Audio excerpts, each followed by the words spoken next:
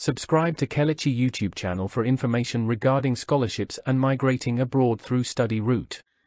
Hi guys, let's talk about uh, academic CV.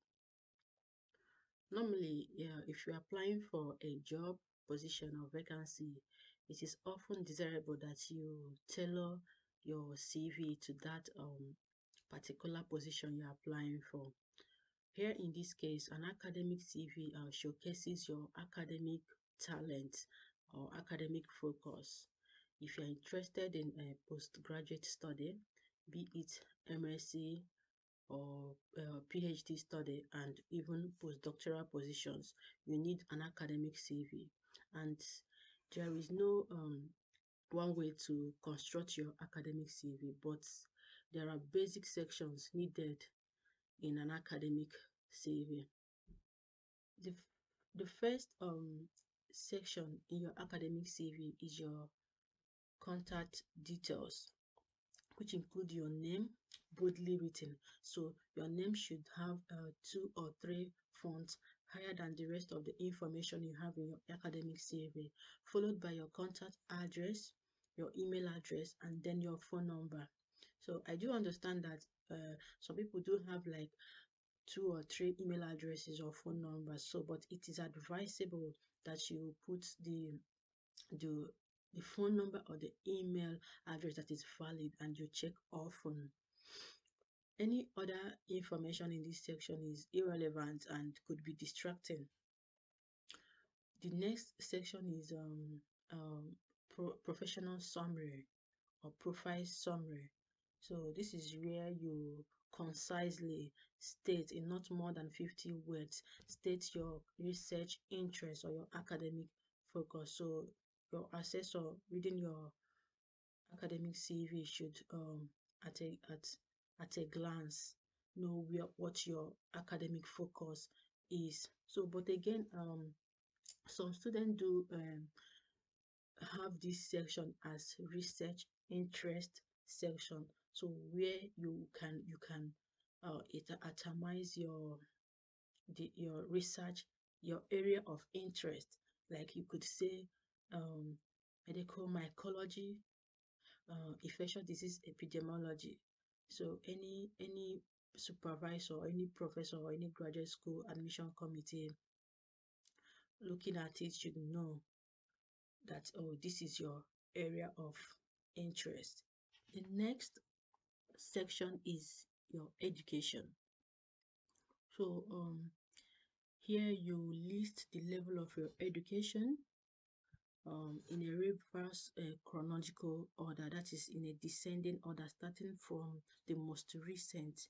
So you will write by starting writing the uh, the type of degree, the title of the degree, the university, and um, the your dissertation title or your thesis title. Don't forget to put the years involved in these degrees. Then you could put your grades, that is your final grades. If you graduated with first class, third class, distinction, merit, consider putting them here. The next section is your research and technical skills.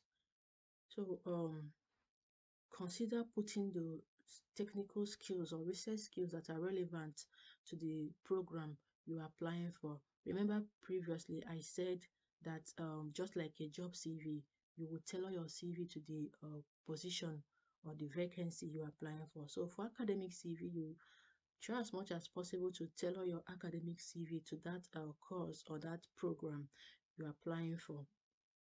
So here in the section of uh, research or technical skills is where you will impute your your, your research skills such as uh, you could say uh, you are you have good knowledge of uh, Microsoft Office including MS Word, uh, Excel or PowerPoint or you have you are proficient um, in uh, Stata SPSS. So you know your course, you know the skills you have gained so far prior to making your application.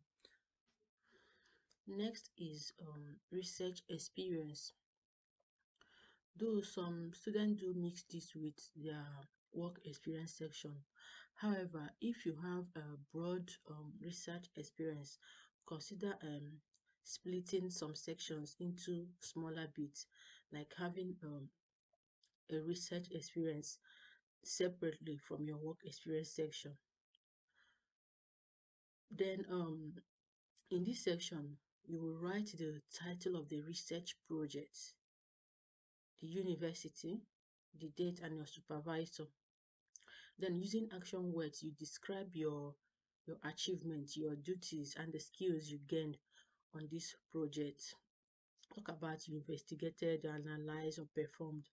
Because yeah, every uh, grad school uh, admission committee is interested to know your your research interest, your your your academic focus, because you will not be applying for a program in biochemistry or a position in biochemistry with um, a degree in engineering.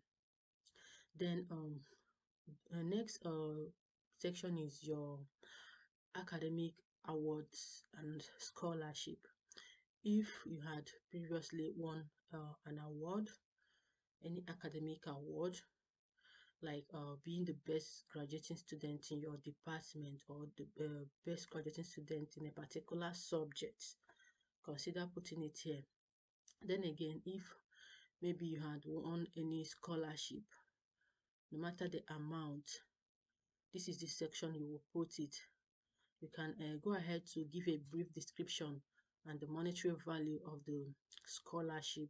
Like say a one-time award of 20,000 naira during my um, undergraduate um, degree. Talk about the the name of the award what the award is all about the date of the award.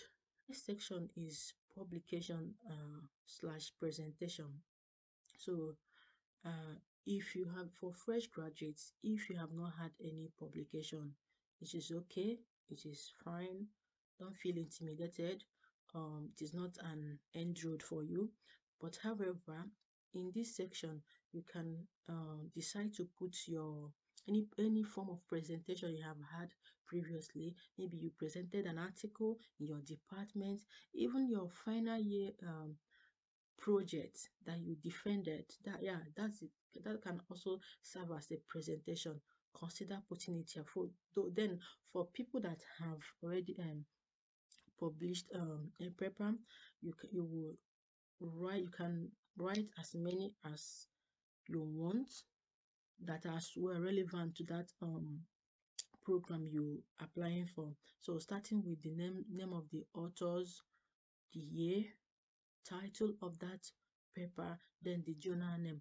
For authors if there are multiple authors you will list them then in a bold font you will then write your name. So make your name to to appear uh, clearer than other authors. Next after uh, publication is uh, professional development certificates. So if you have had any professional uh, training so you this is where you will itemize them.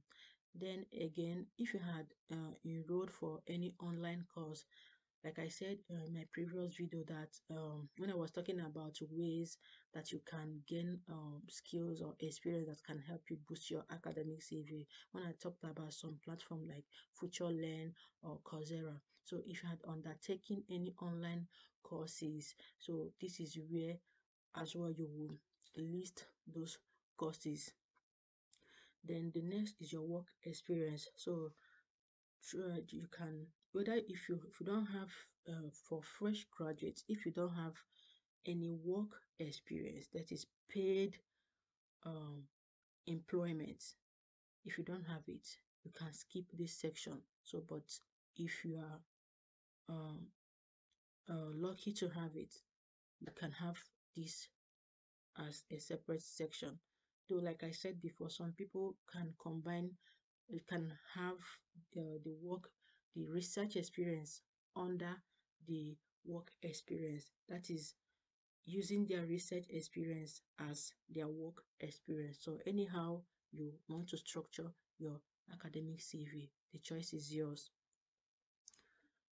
then after the work experience is your professional membership. So if you belong to any professional affiliation like um organizations like Nigeria Medical Association, Veterinary Council of Nigeria, American Association of for Bi Microbiology. So any professional affiliation you you belong to um this is uh this is the section you will list them.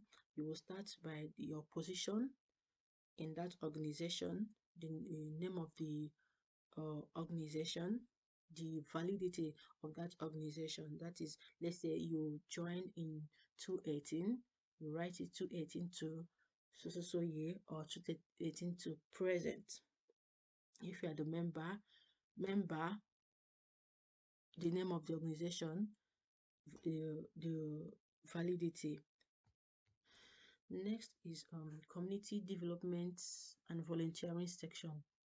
If you had participated in any community development services or volunteering uh, activities, maybe you have um, in the past you have uh, volunteered with an organization or a company, consider consider having this section in your academic CV. Again, this um, section is also important for uh, scholarship applicants. Yeah, because uh, some scholarship bodies give preference to applicants that have undertaken or have participated in different community development services. So next is your English language proficiency.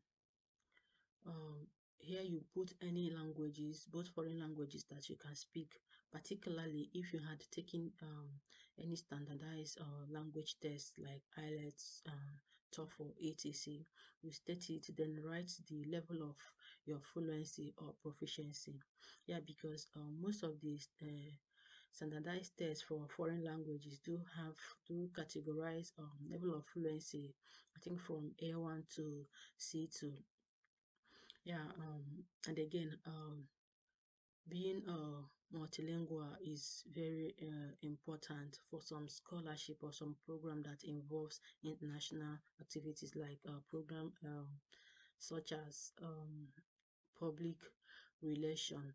However if you don't have if you don't know how to speak multiple languages it's not an end road for you.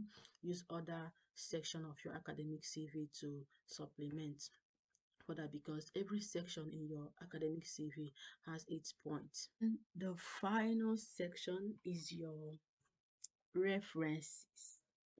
So people do ask me if it is necessary to put it to put the details of their referees or just put on demand. That is right references then on demand. I don't see anything bad in you putting the details of your referees.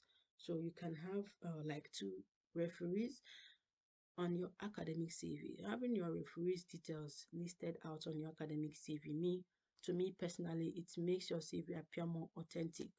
So you can have uh, two academic CV or um, academic um, references.